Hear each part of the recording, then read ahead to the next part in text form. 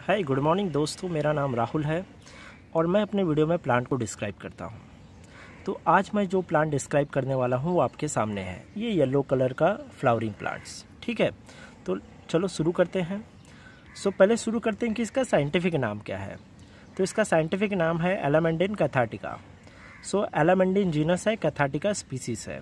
और स्पीसीज हमेशा जीनस को डिस्क्राइब कर स्पीसीज हमेशा प्लांट को डिस्क्राइब करती है इसके ठीक है? सो so, कैथाटिका इसके लिए कहते हैं बिकॉज़ कैथाटिका का जो ये ग्रीक ग्रीक वर्ड से आया हुआ जो ग्रीक लैंग्वेज से आया हुआ वर्ड है कैथाटिका का मतलब होता है क्लिनजिंग ओके सो इसकी ये प्लांट की ना अपनी एक लेग्जेटिव प्रॉपर्टी है तो आपके गट को क्लीन करता है। तो इसके लिए वर्ड है इसके लिए स्पीसीज नेम है कैथाटिका ठीक है? सो so, अच्छा तो ये क्लिनजिंग कैसे करता है? बिकॉज़ देखो ये प्लांट के अंदर जो केमिकल है ना वो आ, वो काफ़ी टॉक्सिक है। तो इस इस प्लांट में ना एलामेंडिन नाम का केमिकल मिलता है जो इस प्लांट को टॉक्सिक बनाता है। सो so, इसके लिए ना अच्छा जो जो भी अगर इस प्लांट को खाएगा या इसके इसके सैप को खाएगा तो वो उसको ना डायरिया वगैरह वगैरह डायरिया होगा वोमिटिंग होगा। ठीक है तो कुछ इसकी लेग्जेटिव प्रॉपर्टी है इस प्लांट में। ओके सो so, अगर है ना और एक मैं आपको बता इसके सैप अगर कभी आपके सैप मतलब इसके अंदर का जो फ्लूड है प्लांट के कभी आपके हाथ या स्किन या आपके स्किन पे लगेगा सो आपको काफ़ी ना इरिटेशन फील होगा। सो uh, so, हमेशा ना ह्यूमन और ह्यूमन जो अपने बच्चे होते हैं you know human babies and आपके पेट एनिमल्स को इस प्लांट से थोड़ा दूर दूर रखिए। I mean they can see this plant but इसके अंदर के सैप को ज़्यादा एक्सप्लोर करने ना बोलिएगा ठीक है? अब इस प्लांट का हम लोग कॉमन नेम देखते हैं, ठीक है? तो इस प्लांट का कॉमन नेम है येलो एलामेंडा बिकॉज़ ये येलो कलर का एलामेंडा है। अच्छा दूसरा नाम है एंजल्स ट्रम्पेट अच्छा ट्रम्पेट इसके लिए कहते हैं बिकॉज़ ट्रम्पेट का मतलब होता है तुरही, जो आप मैरिज वगैरह में बजाते हो सेलिब्रेशन के लिए, ठीक है? तुरही का मुँह भी कुछ इस तरह से दिखता है तो इसको कहते हैं ट्रम्पेट एंजल्स ट्रम्पेट क्यों कहते हैं? बिकॉज़ लोग मानते हैं कि एंजल्स की जो ट्रम्पेट होगी बहुत ही सुंदर होगी, और वो ऐसी दिखती होगी तो एंजल्स ट्रम्पेट ठीक है? इसको अच्छा और इसको ना कप ऑफ़ गोल्ड भी कहते हैं क्योंकि कप जैसा भी दिखता है ना और येलो कलर है थोड़ा तो कहते हैं कि तो इसको गोल्ड जैसा समझते तो इस इसको कहते हैं कप ऑफ़ गोल्ड राइट तो अच्छा आ, अभी हम लोग इसके बारे में और इसको थोड़ा सा और डिस्क्राइब करके देखते हैं ठीक है?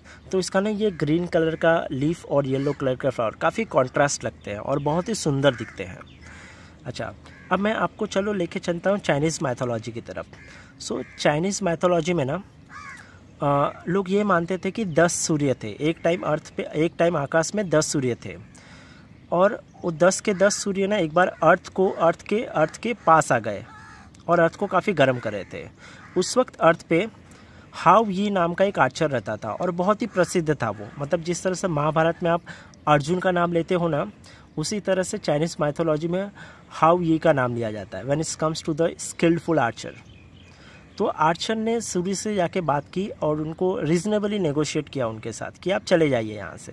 पर सूर्य जाने के लिए तैयार नहीं थे। दस के दसों सूर्य जाने के लिए तैयार नहीं थे। तो कहते हैं कि हाउ यू ने नौ नौ सूर्य के ऊपर बाण चलाए और नौ सूर्य को ज़मीन पर गिरा दिया। जब वो सूर्य ज़मीन पर गिरे तो फ्लावरिंग प्लांट्स बने। उसमें से एक फ्लावरिंग प्लांट्स प्लांट्स ये भी है। एलामेंडिन कैथाटिका ठीक है? और कहते हैं कि एक सूर्य को उसने छोड़ दिया क्योंकि अर्थ की प्रॉस्परिटी के लिए सूर्य होना ज़रूरी है। तो एक सूर्य, इसके लिए आसमान में एक सूर्य दिखता है। ऐसा चाइनीज़ मैथोलॉजी में दिखा गया है। ठीक है?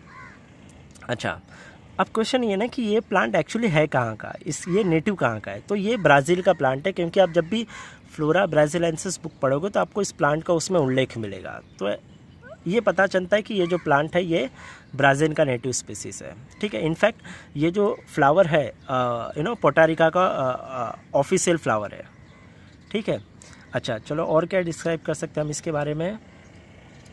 आ, अच्छा कुछ लोग पूछते क्या ये इन्वेजिव स्पीसीज है क्या ये प्लांट सो so, ये प्लांट इन्वेजिव स्पीसीज तो नहीं मानते हम ज़्यादा लेकिन जब आप ऑस्ट्रेलिया के नॉर्थन क्विंसलैंड की बात करोगे तो वहाँ पे जो नेशनल पार्क है वहाँ पे ये प्लांट काफ़ी ज़्यादा स्प्रेड हुआ है और वहाँ के जो नेटिव स्पीसीज है क्विंसलैंड के उसको इसने यू नो रिड्यूस किया है उसका नंबर तो वहाँ पे ये एक इन्वेजिव स्पीसीज माना जा रहा है ओके okay. अब ये ना स्प्रेड बड़ा फास्ट होता है क्योंकि ये है ना अपने सीड से भी प्रोपोगेट करता है रूट से भी प्रोपोगेट करता है। तो रूट से प्रोपोगेट बहुत फास्ट करता है ये। ओके तो इसका प्रोपोगेशन बहुत फास्ट होता है। ठीक है। अब सवाल ये कि क्या इसको पेस्ट का इन्फेक्शन होता है? आ, हाँ इसको हो सकता है। इसको कुछ पेस्ट है जो इन्फेक्ट करते हैं जैसे कि यू नो रेड माइट अपना रेड माइट होता है। कहते हैं कि रेड स्पाइडर माइट नाम का एक है पेस्ट और ग्लास हाउस वाइट फ्लाई है। तो ये दो का बेसिकली इसको इन्फेक्शन होता है। अच्छा अब लोग कहते हैं कि आ,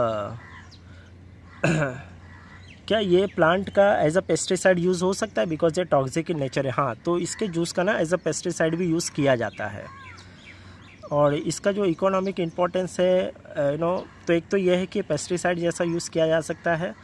दूसरा ये है ना कि आ, ये गार्डन में काफ़ी यूज़ किया जाता है इन्हें खासकर ट्रॉपिकल कंट्रीज़ में। गार्डन में बहुत अच्छे से ग्रो होता है तो इसको गार्डन में ग्रो किया जाता है।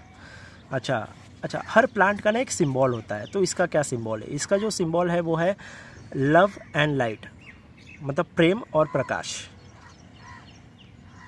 ठीक है?